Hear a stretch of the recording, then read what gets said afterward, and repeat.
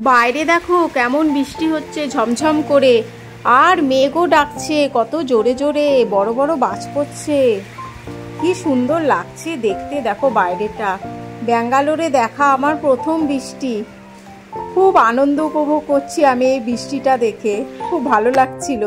এই দেখো, তোমাদের দাদা গিয়েছিল আজকে পুকুরে মাছ ধরতে, তো মাছ নিয়ে চলে এসেছে।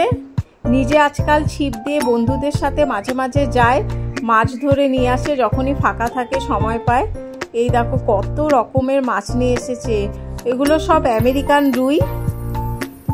এদের মধ্যে কতগুলো মাছ আবার দেখলাম জীবিত ছিল আর কতগুলো মরে গেছে। তো আমি একটা পাত্র দিয়ে দিলাম। আমার কাছে তো পাত্র ছিল না। সব কিছু মানে এখনও প্যাকিং থেকে বের করা হয়নি। প্যাক করা রয়েছে। সেগুলো এক এক করে বের করতে হবে। দেখো, জলের মধ্যে ঢেলে দিল। আর মাছগুলো তো একদম জলে পড়ার সাথে সাথে টুকটুক টুকটুক করে নড়ে নড়ে ঘুরে বেড়াচ্ছিল। এই দেখো। সব আমেরিকান রুই এগুলো। এই দেখো। কতগুলো মাছ রয়েছে এখানে। এখন কিন্তু বিকেলবেলা। আমি এই ব্লগটা আজকে বন্ধুরা বিকেলবেলা থেকে শুরু করেছি। তোমাদের দাদা পুরো ভিজে গিয়েছে, তো আমি বললাম ড্রেসটা চেঞ্জ করে আসতে। দেখো, অনেকগুলো মাছ আবার জীবিত আছে এখানে। সবাই মরে যায়নি। যে কটা মরে গেছে, আমি সেগুলোই রান্না করব। এই দেখো, বৃষ্টি থেমে গেছে, বাইরে একদম ঝকঝকে হয়ে গেছে বাইরেটা। এখন তো প্রায় সন্ধ্যা হয়ে গেছে, দেখো। চারিদিকে একদম আলো জ্বলছে, ঝকঝক করছে সব কিছু মানে বৃষ্টি হওয়াতে রাস্তাটাও পরিষ্কার হয়ে গেছে। যাই, আমি সন্ধ্যাটা দিয়ে দিই। তো আমি সন্ধ্যাটা দিয়ে দিলাম। আমি ঠাকুর ঘরটা দেখো লাইটিং দিয়ে সাজিয়েছি। তোমাদের দাদাকে চা দিতে হবে এখন। রান্নাঘরে চলে এসেছি। ও তো লিকার চা খায় লিকার চাটাই আমি বসিয়ে দিয়েছি। আর হানিকে আমি হরলিক্সটা দিয়ে দেব। এই সন্ধ্যাবেলা না মানে কি বলব মানে রাত্রের দিকে রান্নাবাড়ি করতে আমার একদমই ভালো লাগে না। যেহেতু মাছ নিয়ে এসেছে মাছটা রান্না করতেই হবে, কিছু করার নেই, নাহলে তোমাদের দাদা আবার রাগ করবে। মানে রাত্রেবেলা এই মাছ কাটা, রান্না করা, এগুলো একদমই আমার ভালো লাগে না। যা কর চাটা সম্ভবত হয়ে গেছে, আমি ওকে গিয়ে দিয়েছি আমি নিজেও খেয়ে তারপরে তোমাদের কাছে আবার ফিরে আসছি। দেখো, রান্নাঘর মোটামুটি একটুখানি সাজিয়ে নিয়েছি। তোমাদের দাদা এসে এসে মাঝে মাঝে মাছটা চেক করছিল। চা দিতে এসে দেখি হানির বাবা ঘুমিয়েই পড়েছে। ওকে আবার ডেকে তুললাম। বেশ অনেকক্ষণ লেগে গিয়েছিল আজকে আমার চা করতে। মানে মাছগুলো আলাদা করলাম, যেই মাছগুলো মরে গেছে সেগুলোকে আলাদা করেছি, আর যেগুলো জীবিত রয়েছে সেগুলোকে আবার বালতির মধ্যে রেখে দিয়েছি, তোমাদের দেখাবো আমি।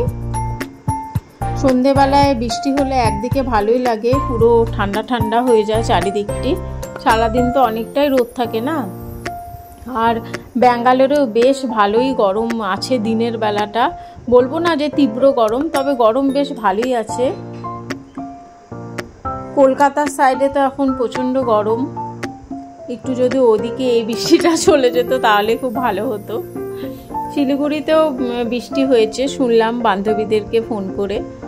ওদিকে ঠান্ডা ঠান্ডা পড়ে গেছে। শিলিগুড়িতে এতটা উত্তপ্ত হয়ে থাকে না, যেটা কলকাতা সাইডে হয়ে থাকে। প্রচণ্ড গরম। যা খানিকে নিয়ে ওর বাবা পড়তে বসালো।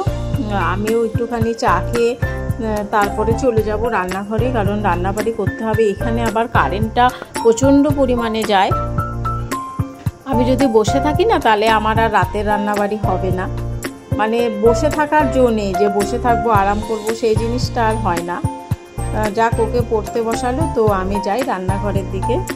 এই দেখো, এই মাছগুলোকে আমি কাটবো আজকে, আর এই মাছ, কটা মাছ ছিল জীবিত, এগুলোকে বালতির মধ্যে রেখে দিয়েছি। তো চলো রান্নাটা শুরু করে দিই। এই চাকু দিয়ে দিয়ে মাছের আঁশছোলা, মাছকে কাটা মানে তখন কি বলব, বটিতে আবার কাটতে বসবো, চারিদিকে ছড়িয়ে যাবে। এজন্য চাকু দিয়ে করছিলাম, কিন্তু হানির বাবা বলল, চাকু দিয়ে করো না, হাতটা কেটে যাবে, তারপরে আরেক মানে একটা করতে গিয়ে আরেকটা। তো আমি আবার পরে বটিতেই কেটেছি, আর যেটুকু চাকুতে কেটেছি, সেটুকু তোমাদের দেখাচ্ছি। আঁশছোলা মাছের একটা মানে কি বলব, কঠিন ব্যাপার। আমার তো খুব কঠিন মনে হয়, অনেকের কাছে হয়তো সোজা মনে হয়। মাছ বাছা কমপ্লিট হয়ে গেছে, এবার আমি জল দিয়ে ধুয়ে নেব। যাই, আমি এবার কড়াইটা বসিয়ে দিই। মাছগুলো ভেজে নিই এক এক করে। দেখো, কড়াইটা আমি ইন্ডাকশানে বসিয়ে দিয়েছি, গ্যাসের ব্যবস্থা তো এখনও হয়ে ওঠেনি। যাক, যতদিন পর্যন্ত না হয়ে ওঠে ইন্ডাকশানেই কাজটা চালিয়ে নিতে হবে। কড়াইতে আমি তেলটা একটু বেশি পরিমাণে দিয়েছি। যাই মাছগুলো ভেজে নিই।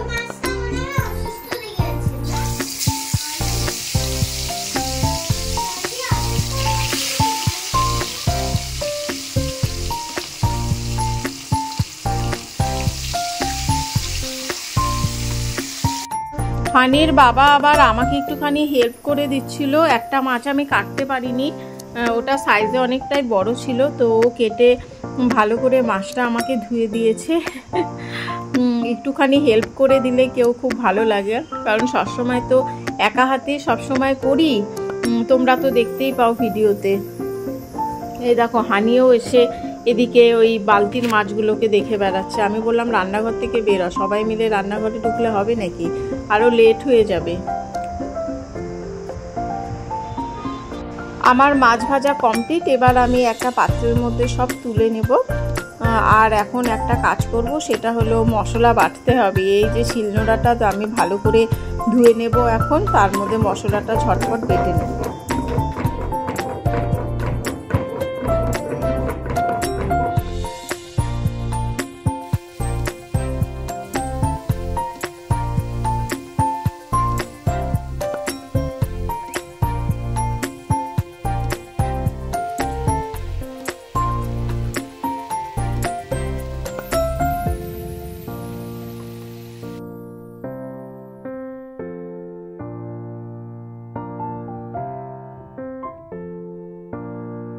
আমার মাছের ঝোল কমপ্লিট, আমি মাছগুলোকে দিয়ে দিলাম।